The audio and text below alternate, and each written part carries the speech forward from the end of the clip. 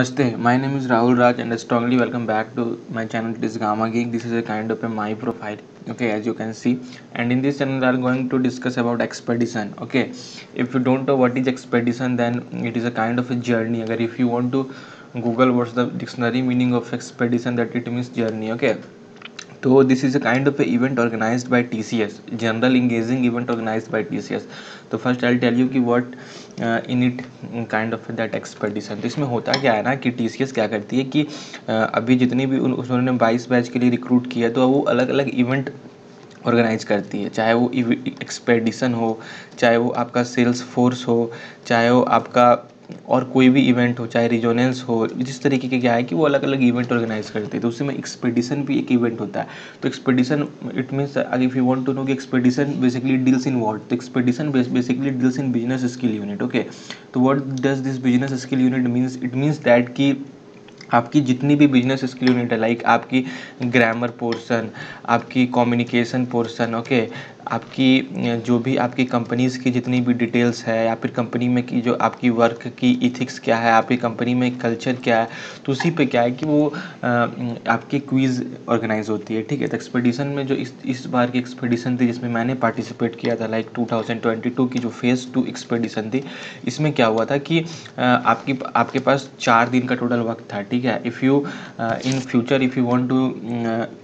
or enroll yourself in expedition or you are currently enrolled then you can take the lesson and learning from this video and in this channel i'll upload video regarding this so please share it with your colleagues and friends and please don't forget to subscribe to okay तो expedition basically deals in a kind of a thing कि आपकी जो मैंने बताया कि grammar ethics culture ये सब में वो करती है और इसमें क्या होता है कि टोटल चार डे होता है इस बार की एक्सपेडिशन में क्या थी कि चार डे थी और चार डे की क्या हुई थी कि क्वीज़ हुई थी ठीक है? और जो पहले दिन की क्विज़ थी, उसमें क्या थी कि आपकी ग्रामर पोर्शन थी। पहले दिन की क्विज़ में ग्रामर थी और दूसरे दिन की क्विज़ में क्या थी कि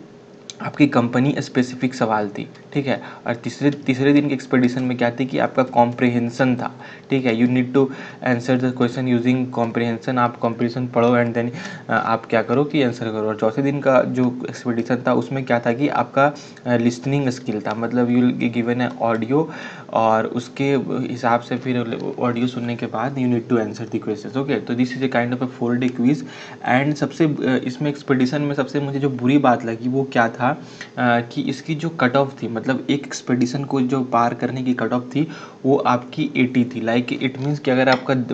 हंड्रेड मार्क्स का क्वेश्चन है तो इसमें आपकी जो पासिंग मार्क्स थी पासिंग मार्क्स थी, वो जो कितनी थी, आपकी एटी थी। ठीक है? तो it's very hard to pass in this expedition because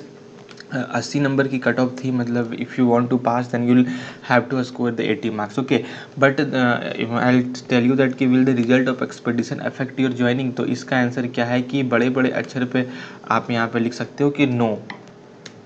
I am saying that कि जो टी सी जितने भी इवेंट ये ऑर्गेनाइज करती है just for you the engaging event है and just you need to learn about that बस दैट सेट ओके यहाँ पे आपकी जो ज्वाइनिंग है उसकी उसकी उस पर कोई इफ़ेक्ट पड़ने वाला नहीं है। बस आपको एक्स्ट्रा पर्क्स क्या है कि अगर आप एक्सपेडिशन पे अच्छा परफॉर्म करो या कोई भी टी सी एस के इवेंट पे अच्छा परफॉर्म करो तो you will get a kind of a perks okay and word this perks include than you can say that you will get a goodies you will get a memento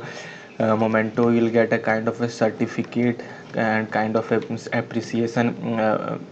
a post like of that in TCS Explore okay so I think your all doubt regarding expedition will be cleared and frankly speaking in first sprint okay चार दिन की जो quiz होती है उसे as a sprint बोला जाता है day one sprint day two sprint kind of that okay तो in first sprint on a, uh, a scale of 100 I have scored 61 okay on the second sprint I have scored 48 and the second third sprint I scored 51 and the fourth sprint I scored for 74 okay this is a kind of a my uh, sprint score but the as I already told you ki the cutoff of this is a very uh, uh, high so if you are preparing for that and you will just enroll just be uh, take care in your mind okay but i believe uh, on me that ki i enjoyed i literally enjoyed the whole journey of giving the expedition मैंने बहुत enjoy किया because the way of asking the question and the way of you know kind of a comprehension listening skills really facilitated me a lot okay so this is a kind of a video please share with your colleagues and uh, friends school groups college groups so he or she will get a kind of a perk regarding that and if you have any kind kind of a doubt regarding uh, any of a company like a service based company please ping me on this instagram id i'll try my level best to uh, kind of a reply okay